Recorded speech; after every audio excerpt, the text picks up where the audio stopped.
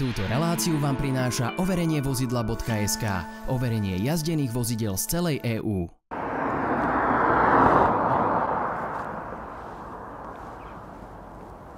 Á, vítam vás pri novom videu, ktoré bude veľmi zaujímavé. Dostal som totiž ponuku, ktorá sa neodmieta. Alebo človek neskôr zistí, že radšej by sa mala, pretože nie všetko, čo sa bliští, je zlato. Ale tá základná otázka je, je lepšie auto za 1 euro ako chodí MHD? To zistíme v dnešnom videu. No a vy ste práve zistili, aké auto mi bolo predané za 1 euro, takže je to Toyota Carina E a vedľa mňa stojí Benjamin, ktorý mi to auto predal. A vy ho už poznáte z videa o Toyota Prius Áno. a Škoda Favorit. No a ty si mi zavolal nedávno s tým, že máš jedno auto na predaj, ktoré už sa nepoužíva, je v rodine. Áno. Takže dôvod bol aký? Jedine to, že sa nevyužíva? Áno. Hlavne, že sa už nevyužíva a keď som rozmýšľal, čo s ním, tak som si spomenul na teba, že No, ty rád kupuješ auta. tak som sa rozhodol, že ti ho predám za symbolickú cenu 1 euro. 1 euro. No a dnes cieľom je zistiť, že či vlastne má zmysel kupovať takéto lacné auto. No a či to teda vyjde lacnejšie ako jazda MHD. My sme práve tuto v Jab Garage v Bratislave, aby sme zistili po dôkladnej prehliadke, že či to dáva zmysel a hlavne ten finančný. Ako, Áno, ja som veľmi zvedavý, ako to dopadne. ako to dopadne. Aj sa trošku bojím. Má to auto pre teba aj nejakú inú hodnotu ako tú finančnú, že Áno, áno, akože v, rodine to už máme dlhé roky a bolo to využívané hlavne na výlety, do obchodu a dedo to tiež používal. Ale pre mňa to má inú hodnotu ako finančnú kvôli tomu, lebo ja som mal krstnú a bohužiaľ to už medzi nami není. A brával som ju na výlety na tomto aute. áno. Ona toto auto zbožňovala. Takže s týmto autom mám aj veľmi pekné spomienky. A dnes teda stojí to auto, áno, že nevyužité absolútne. Áno, áno, už pár mesiacov sa s týmto ani nepohlo. Je to vlastne Toyota Carina E, ktorá sa vyrábala v rokoch 92 až 98, či v. Japonsku alebo Veľkej Británii. Máme tu aký motor? Motor e, 2 liter 98 kW.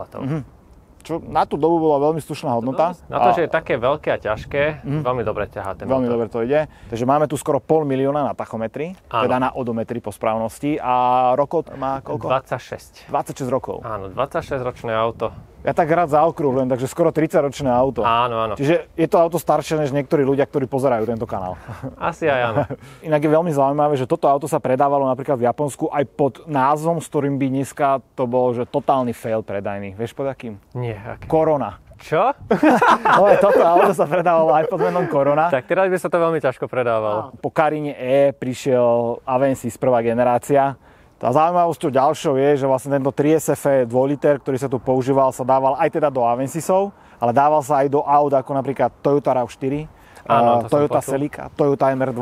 Takže Wow. naozaj, že v mnohých, mnohých aplikáciách by sme ho našli. Keď sa kupuje auto jazdené, tak prvé, čo sa spraví, je testovacia jazda, takže skočme do auta, poďme sa tuto povoziť po okolí, no a potom už nás čaká Zdeno so zdvihákom, kde túto Karinu dáme a dôkladne ju prezrieme a povieme si, že dáva alebo nedáva zmysel to kupovať a hlavne čo s tým ďalej. Áno. Poďme na to. Poďme. Ó, tak toto je typický štarter Toyoty, ale že typický. Tak ako Hondy majú typicky, tak Toyota má. No a prvé metre za volantom Carini E. Svojho času som jednu mal, s 1.6, toto je 2 liter. Samozrejme otáčkom svoj život si ide, svoju ligu si hrá. Momentálne mi ukazuje, že idem niečo medzi 3 a 5 tisíc. No. A točí to až do 12. Až to znamená, Formula 1, výborne. Svieti tu to abs Áno. ale čo sa týka tachometru, tak ten ide Ten je akože- presný, Ten je presný, hej. Ja, zatiaľ som pokutu nedostal. Tak. A tuto ideme schválne po takých trošku rozbitejších cestách. Treba povedať, že ten podvozok sa už začína ozývať. Je to také... A to sme aj čakali asi pri týchto Áno. kilometroch. Asi. Ja som, čakal som, že to bude ešte horšie. Mhm. A tento zvuk si dával športový výfuk? No, bohužiaľ nie. Ten je sériový, No. ale sériovo takto neznel. Takže si ho niekde trafil, hej? Áno, áno, keď som cúval. Spomienka úplne, že na tú nádhernú prístrojovku, to sa mi strašne páčilo na tých karinách, tá vlna, to je fakt, že nádherné. No a samozrejme typický volant z Toyota z tých rokov z 90 aj s tým airbagom. Ale čo sa mi na týchto autách páči najviac, že a tá palubovka už má 26 rokov, ale nevrzga ani Presne. nepucha. A a nie je popraskaná a Áno, nejak áno. deformovaná. A nie, toto auto bolo nikdy garážované. To sa ti Vždy vonku, hej? Áno, vždy vonku. Aha, tak nič, ja som chcel len garážované. Tak nič. Prvý majiteľ, vieš, ak to chodí. Tak. No, majiteľ, neviem, ktorý som už. Oh, 8 tisíc. Wow. A ešte ďalšia sranda, že Toyoty tu majú takú, že economy mod, takú kontrolku. Áno, využívam to, aj keď to moc nepomáha. Tak v zásade sú to nejaké len trapné podtlaky, ktoré sú tam a celkovo to auto, ja si pamätám, že bolo veľmi pohodlné, keď teda tlmiče fungovali ako majú fungovať. Ale aj to sedadlo je celkom pohodlné, dobre sa mi v ňom aj sedí, aj pedále sú pe- pekne rovno predo mnou, nie sú na krivo. No nie je to talianské auto, takže áno, sú tu pekne rovno. Aj po tých kilometroch a veku tá prevodovka je, že pomoc, že výborná, Áno. presná, Nikdy sa mi nepodarilo, že by som zaradil niečo, čo som nechcel. hej, ale akože veľmi, veľmi dobré. Aj sa nám rozsvietila nejaká kontrolka hladiny oleja. No, to posledný mesiac. to tak býva, že čo, to sa mi nestalo, vieš, keď sa auto predal, nikdy. Som povedať, to prvýkrát vidím. Jazdu krátku máme za sebou. Auto chodí presne tak, ako by si očakával od pol miliónového auta. Možno lepšie, krivdím mu, fakt lepšie. A lepšie ako 30-ročné auto. A hlavne tá Toyota aj po tých rokoch pôsobí tak moderne, v zmysle, nie že súčasne moderne, ale moderne, že je to auto už, na ktorom by si vedel existovať stále. Áno, áno. Že odvezie ťa, naozaj má to bezpečnostné prvky, teda keď funguje to abs samozrejme. No a my už zabáčame sem, kde teraz to auto podrobíme takému väčšiemu testu, alebo teda prehliadke. Som zvedavý. Vieš, že aj ja. No a my už stojíme samozrejme v starom známom Jab Garage.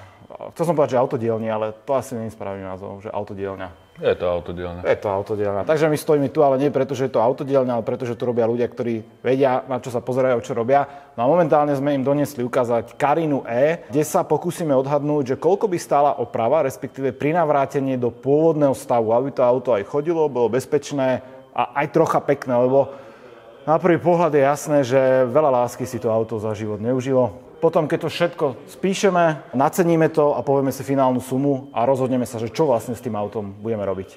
Začneme klasicky prednou nápravou. Pozrieme si všetky ramená, silembloky, čapy, tesnenia, manžety, brzdy. Pozrieme zadnú nápravu.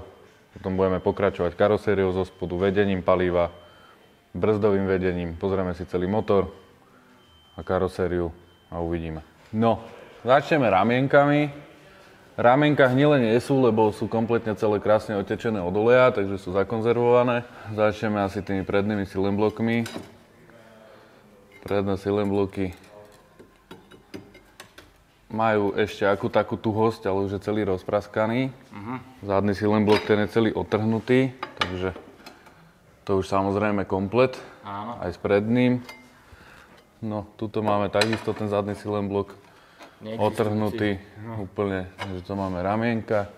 Zrieme si stabilizátor. No, uloženia stabilizátora tie držia, ale takisto sú kompletne rozpraskané, spráchnivele.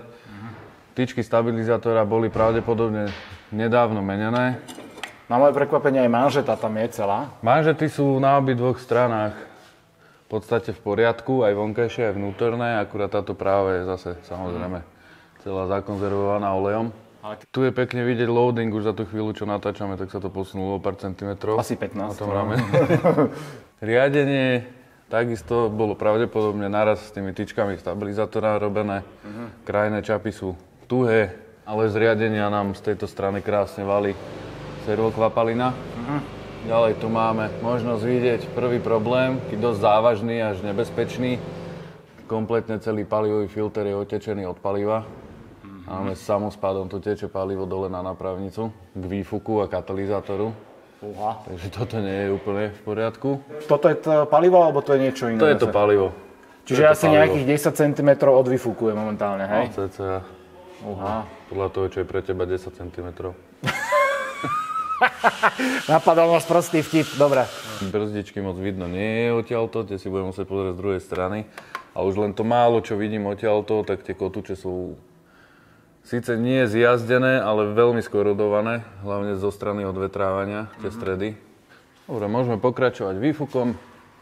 Výfukové zvody nám idú z prednej strany.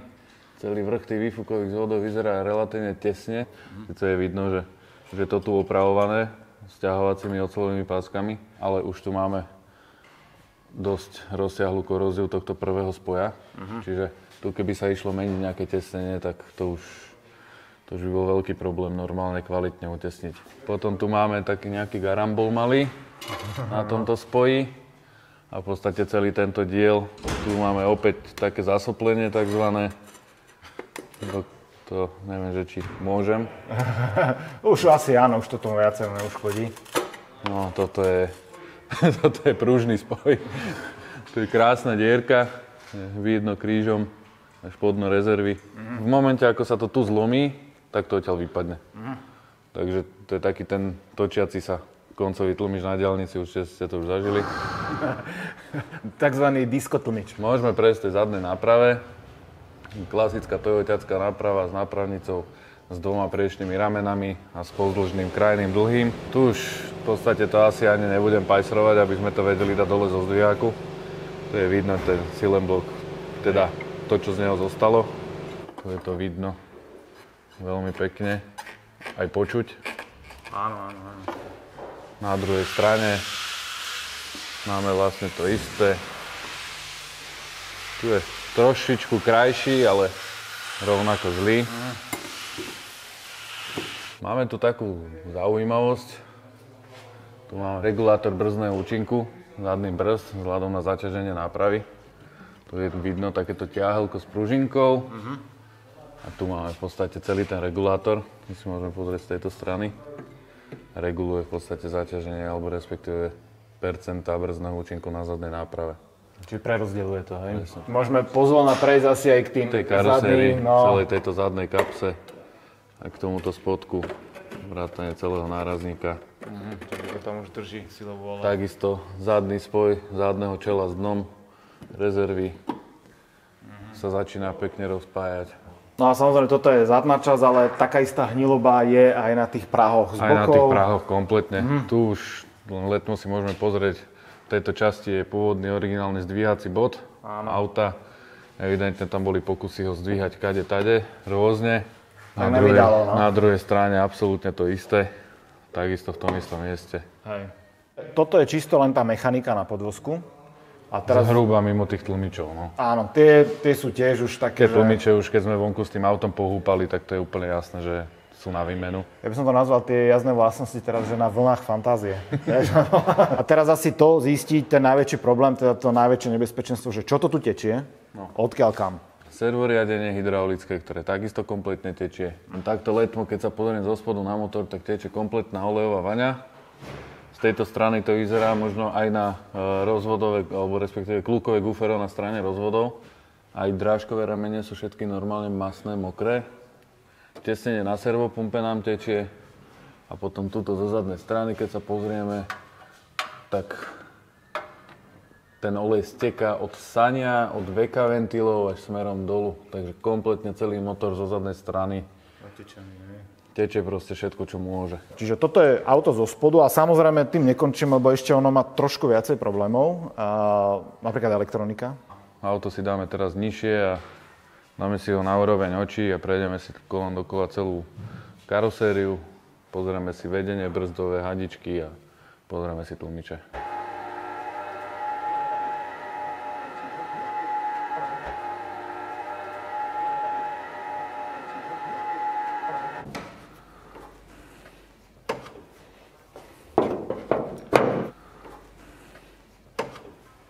Dostávame sa k motoru. Ten únik oleja z podtesenia podveka je už evidentný z tej zadnej strany. Vpredu nám to ešte drží z dôvodu uloženia toho motora pod týmto uhlom. Máme pekne prístupný olejový filter. Každý mechanik poteší, keď ho má takto po ruke. Máme olejčok.